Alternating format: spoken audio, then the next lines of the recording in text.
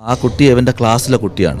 Admission number ഇരുന്നൂറ്റി ഇരുപത്തി അഞ്ച് പേരെനിക്ക് നോക്കണം. കിട്ടിയിട്ടില്ല. പോലീസുകാരിയുടെ മകളെന്നാണ് പറയുന്നത്. അവരിപ്പോൾ രാഷ്ട്രീയ ബന്ധമുള്ള കുടുംബത്തിന്റെ പശ്ചാത്തലത്തിലുള്ള കുട്ടിയാണ്. അങ്ങനെയുള്ളൊരു പെൺകുട്ടി. ഈ കുട്ടി എന്തോ സിദ്ധാർത്ഥൻ അവളെ എന്തോ മോശമായി ചെയ്തു എന്നുള്ള കാരണത്താൽ എന്നോ ഒരു ദിവസം ചെയ്ത കാര്യം എന്നാണെന്ന് നമുക്കിപ്പോൾ അറിയില്ല.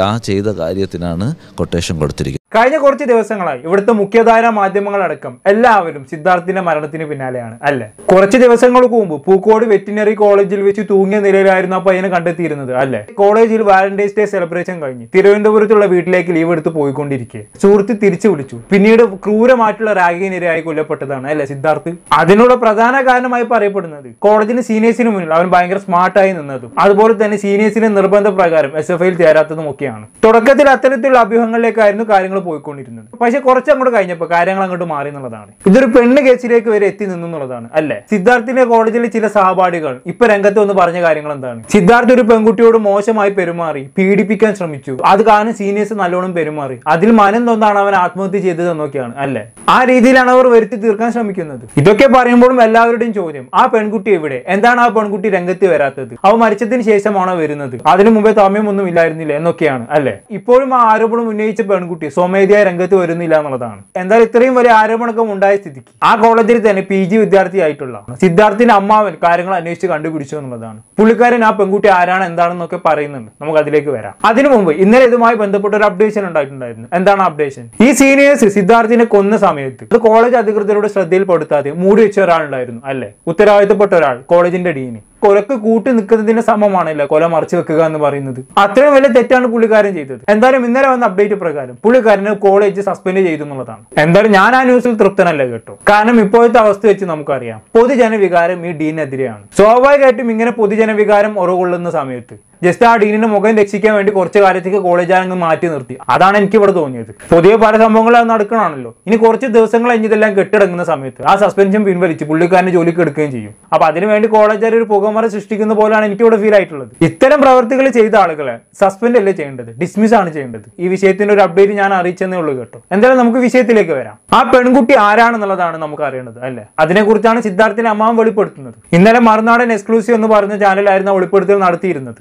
എന്തായാലും ആ വെളിപ്പെടുത്തലിന് മുമ്പ് സിദ്ധാർത്ഥിന് പോസ്റ്റ്മോർട്ടം റിപ്പോർട്ട് വന്നിട്ടുണ്ടായിരുന്നു. അതിൽ ചില കാര്യങ്ങൾ അമ്മാവൻ പരാമർശിക്കുന്നുണ്ട്. നമുക്ക് എന്തായാലും ആന്ന് കണ്ടോക്കാം പിന്നെ ഇത്രയും ഒരു ആഗ്രഹത്തോട് പഠിക്കുന്ന ഒരു കുട്ടി.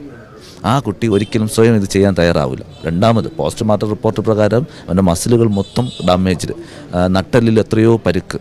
കഴുത്ത് ഷോൾഡറിന്റെ അവിടെ പരുക്ക് കഴുത്തിൽ പരുക്ക്. ഈ ഒരു കുട്ടിക്ക് ഇത്രയും ഹൈറ്റിൽ കയറി ഒരു കുരുക്കിട്ട് എവിടെ നിന്ന് ഇത്രയും എങ്ങനെ കെട്ടും? ഒരു ബക്കറ്റ് മാത്രമാണ് അവിടെ ഉള്ളത്. അപ്പം ഇത് അവനെ കൊണ്ട് കഴിയാത്ത കാര്യം. അല്ലെങ്കിൽ തന്നെ അവൻ മൂന്ന് ദിവസം കൊണ്ട് വെള്ളം കഴി കഴിച്ചിട്ട് ആഹാരം കഴിച്ചിട്ട് വെള്ളം കുടിച്ചിട്ട്. അങ്ങനെ ഒരു കുട്ടിക്ക് ഒരു അവസരം കിട്ടി ബാത്റൂമിൽ കയറാൻ പറ്റുക അവൻ ഒരു ബക്കറ്റ് വെള്ളം ബഗ് വെള്ളമെങ്കിലും എടുത്ത് ആദ്യം കുടിക്കാനല്ലേ നോക്കുള്ളൂ. ഏത് വെള്ളമായാലും.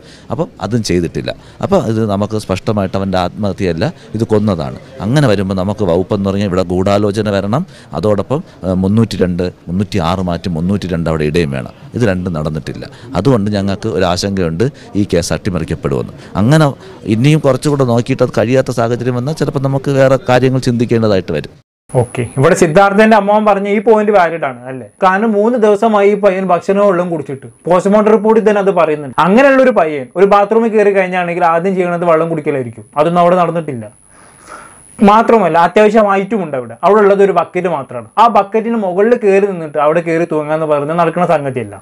അവിടെ തന്നെ ഇത് ആത്മഹത്യയാണെന്ന് വരുത്തി തീർക്കാനുള്ള ശ്രമം പൊളിഞ്ഞു എന്നുള്ളതാണ്. പിന്നെ അതിന്റെ കൂട്ടത്തിൽ അമ്മാവൻ ഇന്റേണൽ ഇഞ്ചുറിയുടെ കാര്യം കൂടി പറയുന്നുണ്ട്. ആ പയ്യന് പുറമെ ഇഞ്ചറികളൊന്നും ഇല്ലായിരുന്നു ഉണ്ടായ ഇഞ്ചറി എന്ന് പറയുന്നത് ചെറുകുടൽ ഇഞ്ചറി വൻകുടലിൽ ഇഞ്ചറി നട്ടലിൻ ഇഞ്ചറി താടേലിന്റെ ഉള്ളിലുള്ള ഇഞ്ചറി ഇതൊക്കെയാണ്. പുറമെ തൊട്ട് നോക്കിയ ഇഞ്ചറികളൊന്നും ഇല്ല അതിനർത്ഥം വെൽ ട്രെയിൻഡ് ആയിട്ടുള്ള ഒരാളാണ് അവനെ റാഗ് ചെയ്തെന്നുള്ളതാണ് അങ്ങനെ ഒരാളിൽ നിന്നും മർമ്മം നോക്കി ഇടി വരുമ്പോഴേക്കാണ് ഇങ്ങനെ ഇഞ്ചറി വരാം.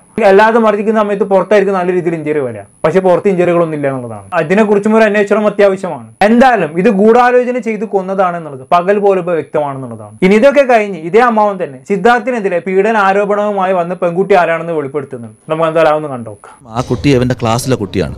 അഡ്മിഷൻ നമ്പർ ഇരുന്നൂറ്റി ഇരുപത്തി അഞ്ച് പേരെനിക്ക് നോക്കണം. കിട്ടിയിട്ടില്ല. രാഷ്ട്രീയ നേതാവിന്റെ മകളോ ബന്ധുവോ അങ്ങനെ എന്തെങ്കിലും ഒരു പോലീസുകാരിയുടെ മകളെന്നാണ് പറയുന്നത്. അവർ രാഷ്ട്രീയ ബന്ധമുള്ള കുടുംബത്തിന്റെ പശ്ചാത്തലത്തിലുള്ള കുട്ടിയാണ്. അതൊന്നും അറിയില്ല. അങ്ങനെയാണ് ഇപ്പോൾ തന്നെയാണ്. ആണെന്നൊരു ചാനലിലൂടെയാണ് ഞാൻ അറിഞ്ഞത്. ഞാൻ എനിക്കറിയില്ല. അപ്പോൾ വേറൊരു ആൾ ഇങ്ങനെ കുറച്ച് പേര് സംസാരിക്കുന്നതെന്നാണ് കിട്ടിയത്. നമ്മൾക്ക് ഒന്നും അറിയില്ല. പലയിടത്തു നിന്നുള്ള അറിവാണ്. ഇപ്പോൾ ഇത് എന്തോ ചർച്ചയിൽ നിന്നാണ് എനിക്ക് കിട്ടിയത്. അപ്പം ഇത്തരത്തിൽ അങ്ങനെയുള്ളൊരു പെൺകുട്ടി ഈ കുട്ടി ഇത് എന്തോ സിദ്ധാർത്ഥൻ അവളെ എന്തോ മോശമായി ചെയ്തു എന്നുള്ള കാരണത്താൽ എന്നോ ഒരു ദിവസം ചെയ്ത കാര്യം എന്നാണെന്ന് നമുക്ക് പറയില്ല. ആ ചെയ് ആ ചെയ്ത കാര്യത്തിനാണ് കൊട്ടേഷൻ കൊടുത്തിരിക്കുന്നത്. കൊട്ടേഷൻ കൊടുത്തിരിക്കുന്നത് അവന്റെ ക്ലാസ്സിന് അറിയില്ല. അവൾ ആ ഈ സിദ്ധാർത്ഥനായിട്ട് ഈ വിഷയം ഉണ്ടോയെന്ന് പോലും നമുക്കറിയില്ല. അപ്പം അവൾ സ്പഷ്ടമായിട്ട് കൊട്ടേഷൻ കൊടുത്തിരിക്കുകയാണ്. ആർക്ക് കൊടുത്തു? അവളെ ക്ലാസ്സിലെ തന്നെ സിദ്ധാർത്ഥന്റെ അവളുടെയും ക്ലാസ്സിലുള്ള അഞ്ച് കുട്ടികൾക്ക് കൊട്ടേഷൻ കൊടുത്തിരിക്കുകയാണ്. അവരെല്ലാവരും കൂടെ ചേർന്നും ഈ പ്രതിയായ ഈ പെൺകുട്ടിയും കൂടെ ചേരുമ്പോൾ ആറ് പേരായി അവരുടെ ക്ലാസ്സിൽ ഇവർ നടപ്പിലാക്കിയ ഒരു കൊട്ടേഷനാണ് യഥാർത്ഥത്തിൽ സിദ്ധാർത്ഥന്റെ മരണം. അതിനെ അവർ കൂട്ടുപിടിച്ചതാണ് ഈ എസ് എഫ് ഐ നേതാക്കളെ. അവർക്കും യവനിലുള്ള അസൂയ ഉണ്ടായിരുന്നു. അവർ മറ്റ് ശ്രീ സ്വീകാര്യതയും മറ്റു ആളുകളുടെ അടുത്തുള്ള ഇടപെടലും എല്ലാ കാര്യങ്ങളും ചെയ്യുന്നു. അവൻ മുന്നിട്ട് നിൽക്കുന്നതിനുള്ള എല്ലാം കൂടെ ഒത്തുചേർന്നപ്പോൾ ഈ പ്ലാനും എ പ്ലാനും ബി പ്ലാനും കൂടെ ഒരുമിച്ച് ചെയ്യുന്നതൊക്കെ നമ്മൾ കേട്ടിട്ടേ ഉള്ളൂ. അതവിടെ ഇംപ്ലിമെന്റ് ചെയ്തു അവർ നടപ്പിലാക്കി. അതാണ് അത് ഇംപ്ലിമെന്റ് നടപ്പിലാക്കുകയും ചെയ്തു. അതാണ് അവരുടെ ഇത് അതിന് അവരെ സക്സസ് എന്നാണ്. അതിനെ സിദ്ധാർത്ഥനെ വളരെ ഐഡിയപരമായിട്ട് കൊന്നു. ഓക്കെ അപ്പൊ അങ്ങനെയൊക്കെയാണ് സംഗതികൾ. അപ്പോൾ സിദ്ധാർത്ഥിനെ ക്ലാസ്സിൽ പഠിക്കുന്ന ഒരു പെൺകുട്ടിക്ക് എന്തൊരു വിഷയവുമായി ബന്ധപ്പെട്ട് സിദ്ധാർത്ഥിനോട് ഒരു പേഴ്സണൽ വൈരാഗ്യം വരുന്നു. ആ വൈരാഗ്യം തീർക്കാൻ വേണ്ടി ക്ലാസ്സിലുള്ള അഞ്ചാറ് ആൾക്കാരെ കൊട്ടേഷൻ ഏൽപ്പിക്കുന്നു. അവർ സിദ്ധാർത്ഥിനെ ഒതുക്കണം എന്ന് പറഞ്ഞ് നടക്കായിരുന്നു അല്ല? അതിന്റെ കൂട്ടത്തിൽ അപ്പുറത്ത് നടക്കണം എന്താണ്? കുറച്ച് എസ് എഫ് ഐക്കാർ അവർ ഈ പയ്യന് സ്മാർട്ട്നെസ് കളിച്ച് നടക്കുന്നതും അതേപോലെ എസ് എഫ് ഐയിൽ ചേരാൻ പറഞ്ഞിട്ട് ചേരാത്തത് കാരണമായിട്ടൊക്കെ അവനോട് ഭയങ്കര ദേഷ്യമുണ്ട്. അവരും അവൻ അടിച്ചൊതുക്കണം എന്ന് പറഞ്ഞ് നടക്കാണ്. അങ്ങനെ രണ്ടു കൂട്ടരും തമ്മിൽ കണ്ടുമുട്ടുന്നു. അവർ തമ്മിൽ ഗൂഢാലോചന നടത്തുന്നു. അങ്ങനെ വിളിച്ചു വരുത്തി അങ്ങ് പെരുമാറിയതാണ്. ലാസ്റ്റ് ആ പയ്യന്റെ ജീവൻ അങ്ങ് പോയി എന്നുള്ളതാണ്. ഇതാണ് ഇപ്പോൾ ഇവിടെ സംഭവിച്ചത്. ശരിക്കും പറഞ്ഞ ആ കൊട്ടേഷൻ കൊടുത്ത് പെണ്ണ് പെട്ടെന്ന് തന്നെ പറയാം ഇത് ഇതിപ്പോ ഡീറ്റെയിൽസ് മൊത്തം പുറത്ത് വിട്ടല്ലോ. ഇനിയിപ്പോ കോളേജിന്റെ രജിസ്റ്റർ നോക്കിയിട്ട് ആ നമ്പറിലുള്ള പെൺകുട്ടി ആരെന്ന് നോക്കിയാൽ മതി. എന്തായാലും അവൾക്ക് ഇനി മര്യാദയ്ക്ക് പുറത്തിറങ്ങി നടക്കാൻ പറ്റാത്ത ഒരു അവസ്ഥ എന്നുള്ളതാണ്. അത് അവളെന്നെ വരുത്തി വെച്ചതാണ് അനുഭവിക്കുക തന്നെ വേണം. എന്തായാലും ഇതിനൊക്കെ പുറമെ അവിടെ മുമ്പ് പഠിച്ചു പോയൊരു വിദ്യാർത്ഥിനിയുടെ ഒരു ശബ്ദ സന്ദേശം. ദ ഫോർത്ത് ചാനലിലൂടെ ഞാൻ കേൾക്കാനിടയായി. അത് കേട്ടപ്പോൾ ഞാൻ ശരിക്കും ഞെട്ടുപോയി കേട്ടോ. കാരണം വളരെ കാലമായ ക്യാമ്പസിൽ ക്രൂരതകൾ ഇങ്ങനെ അരങ്ങേറിക്കൊണ്ടിരിക്കുകയാണെന്നുള്ളതാണ്. നമുക്ക് എന്തായാലും ആ പെൺകുട്ടിയുടെ ശബ്ദ സന്ദേശം ഒന്ന് കേട്ടോ പൂക്കോട് വെറ്റിനറി കോളേജിലെ ഫൈനൽ ഇയർ ഇന്റേൺഷിപ്പ് സ്റ്റുഡന്റ് ആണ്. എന്നിപ്പോ ഇവിടെ സംസാരിക്കാൻ പ്രേരിപ്പിക്കുന്ന ഒരു ഫാക്ടർ എന്ന് പറയുന്നത് എസ് എഫ് ഐയിൽ നിന്ന് ഞാൻ അണ്ടർഗോ ചെയ്തിട്ടുള്ള ഇൻജസ്റ്റിസും എന്റെ അനുഭവങ്ങളുമാണ്. കോളേജിലെ ഏക വിദ്യാർത്ഥി പ്രസ്ഥാനമാണ് എസ് എഫ് ഐ അവിടെ സെക്കൻഡ് ഇയർ ആയിരുന്ന സമയത്ത് റാഗിങ് റിപ്പോർട്ട് ചെയ്തിട്ടുണ്ട്. ഒരു ബാച്ചിൽ ബാച്ച് ഫുൾ ഒരു കൂട്ടമായിട്ട് ഒരു റൂമിലോട്ട് വിളിച്ചു വരുത്തി ഇൻസൾട്ട് ചെയ്തിട്ടുണ്ട്. അപ്പോൾ ആ പോയിന്റിൽ അത് അസിസ്റ്റന്റ് വാർഡിന്റെ അടുത്ത് റിപ്പോർട്ട് ചെയ്യുന്നുണ്ട്. അപ്പോൾ അത് വളരെ നമ്മളത് റിപ്പോർട്ട് ചെയ്യുന്ന സമയത്ത് അതിനെ വളരെ നോർമലൈസ് ചെയ്ത് ഓ ഇതിപ്പം ഇതൊന്നും ഇപ്പോൾ വലിയ കുഴപ്പമൊന്നുമില്ല. എന്നാണ് കേട്ടിട്ടുള്ളത്.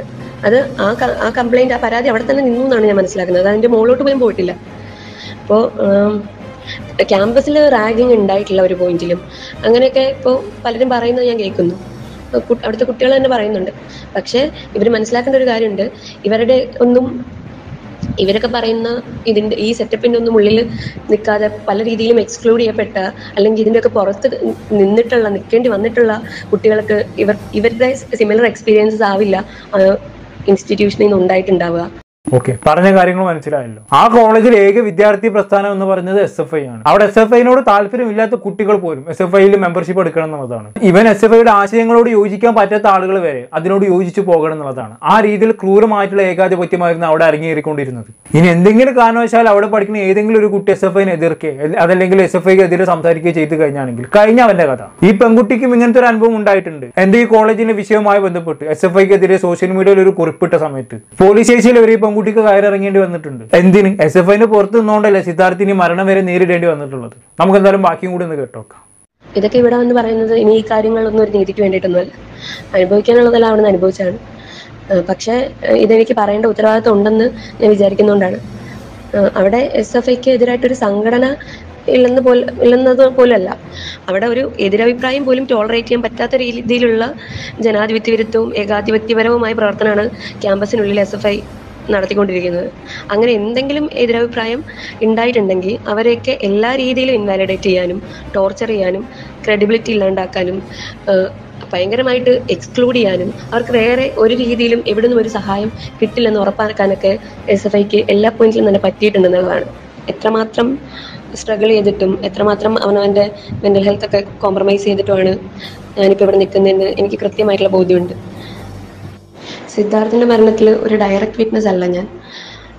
പക്ഷെ ഞാൻ മനസ്സിലാക്കുന്നത് സിദ്ധാർത്ഥൻ വളരെ ക്രൂരമായിട്ടുള്ള ഫിസിക്കൽ വയലൻസും മോബ് ലിഞ്ചിങ്ങും ഇമോഷണൽ ടോർച്ചറൊക്കെ അവിടെ നിന്ന് അണ്ടർഗോ ചെയ്തിട്ടുണ്ടെന്ന് തന്നെയാണ്. അപ്പോൾ ഇത്രയും വയലൻസ് ഒരു കൂട്ടം ആളുകൾ ഇപ്പോൾ ഇതിൽ പ്രതികളാണെന്ന് പറയുന്ന ആളുകൾ പെട്ടെന്നൊരു ദിവസം ഒരു ഹോസ്റ്റലിൽ ചെയ്യാനുള്ള ധൈര്യം അവർക്ക് കിട്ടില്ലല്ലോ. അപ്പോൾ കാലങ്ങളായി ഇവിടെ നോർമലൈസ്ഡ് ആയിരുന്ന പലരായിട്ട് ഈ സീനിയേഴ്സ് മുതൽ ഇവിടെ വർഷങ്ങളായിട്ട് നോർമലൈസ് ചെയ്യപ്പെട്ടിട്ടുള്ള റാഗിങ്ങും വയലൻസും അതുപോലെ ഇവിടുത്തെ എസ് എഫ് ഐയുടെ ഏകാധിപത്യമൊക്കെ തന്നെയാണ്. അതിന്റെയൊക്കെ ബാക്കിപത്രമാണ് ഇങ്ങനൊരു സംഭവം എന്നാണ് ഞാൻ മനസ്സിലാക്കുന്നത്. അപ്പൊ ഇങ്ങനെയുള്ള എന്തെങ്കിലും കാര്യങ്ങൾ പുറത്തു വരുന്ന സമയത്ത് ഞങ്ങളുടെ എസ് എഫ് ഐ ഇങ്ങനെയല്ല ഇവിടെ ഒന്നും ഇങ്ങനെയല്ല എന്ന് ഈ കോളേജ് വികാരം ഈ വൈകാരികത ഇളക്കി വിട്ട് അവിടെയുള്ള എല്ലാവരും എല്ലാവരെ കൊണ്ട് എസ് എഫ് ഐ തന്നെ പറയും അത് ശരി. അപ്പൊ ഇങ്ങനെയൊക്കെയാണ് ആ കോളേജിൽ സംഭവിച്ചുകൊണ്ടിരിക്കുന്നത് അല്ലേ? ഈ പെൺകുട്ടി പറഞ്ഞ കാര്യങ്ങൾ വളരെ സത്യമാണ് അല്ലേ? കാരണം നിങ്ങളൊന്ന് ആലോചിച്ച് നോക്കി. ഇപ്പൊ സിദ്ധാർത്ഥ് മരിച്ച് ഇത്രയും ദിവസങ്ങളായി. ഈ ദിവസത്തിനടുക്ക് ആ കോളേജിൽ പഠിക്കുന്ന ഒരു കുട്ടിയെങ്കിലും മുഖം കാണിച്ചുകൊണ്ട് സിദ്ധാർത്ഥിന് നീതിക്ക് വേണ്ടി സംസാരിച്ചിട്ടുണ്ടോ? സംസാരിക്കില്ല. മുഖം കാണിച്ച് സംസാരിച്ച ആൾക്കാർ നമ്മൾ മൂന്ന് ദിവസം കണ്ടിട്ടുണ്ടായിരുന്നു. അവർ കൊന്നവരെ ന്യായീകരിക്കായിരുന്നു അല്ലേ? അതാണ് അവിടുത്തെ അവസ്ഥ. ഇപ്പൊ ഈ പെൺകുട്ടിക്ക് വരെ മുഖം കാണിക്കാതെ ശബ്ദ സന്ദേശമായി സംസാരിക്കേണ്ട ഗതികേടാണ്. കാരണം മുഖം കാണിച്ച് സംസാരിച്ച് കഴിഞ്ഞാണെങ്കിൽ കഴിഞ്ഞി. ചിലപ്പോൾ അവർ ആരും അറിയാതെ അങ്ങ് ഇല്ലാണ്ടാക്കി കളയും. അത്രത്തോളം അവിടെയുള്ള കുട്ടികളെ അവർ പേടിപ്പിച്ച് നിർത്തുന്നുണ്ട് എന്നുള്ളതാണ്. എനിക്ക് തോന്നുന്നത് സിദ്ധാർത്ഥിനേക്കാളും ക്രൂരമായിട്ടുള്ള പീഡനങ്ങളിലൂടെ പല കുട്ടികളും മുമ്പ് അവിടെ കടന്നു പോയിട്ടുണ്ടായിരിക്കും എന്നുള്ളതാണ്. അവർക്കൊരു പക്ഷേ തിരിച്ചു കിട്ടിയത് ജീവ മാത്രമായിരിക്കും. സിദ്ധാർത്ഥിന്റെ ജീവൻ പോയതുകൊണ്ട് പുറലോകം അറിഞ്ഞ കാര്യങ്ങൾ. പല കുട്ടികളും ചിലപ്പോൾ ഇതുപോലെ മുമ്പ് ജീവനും കൊണ്ട് ഓടിപ്പോയിട്ടുണ്ടാകും. അവരൊക്കെ ഇതേപോലെ പുറലോകത്ത് പറയാനുള്ള ഭയം കൊണ്ടായിരിക്കും ഉണ്ടാതിരുന്നത് എന്തായാലും ഇപ്പോഴെങ്കിലും ആ ക്യാമ്പസിലെ ക്രൂരതകൾ മറനീക്കി പുറത്തു വന്നല്ലോ. ശരിക്കും പറഞ്ഞാൽ ഒരു ക്രൂരതയുടെ ലോകമായിരുന്നു ആ ക്യാമ്പസ് എന്ന് തന്നെ വേണം പറയാൻ അല്ലേ? ഒരു വിദ്യാർത്ഥി സംഘടനയോട് കശാപ്പ് ശാല എന്ന് വിശേഷിപ്പിച്ചാലും തെറ്റില്ല. ഇത്ര എനിക്ക് പറയാനുള്ളൂ. എന്താണ് ഇതിനെ കുറിച്ചുള്ള നിങ്ങളുടെ അഭിപ്രായം? താഴെ കമന്റ് ബോക്സിൽ രേഖപ്പെടുത്തുമല്ലോ. അടുത്തൊരു ടോപ്പിക്കുമായി കാണാം.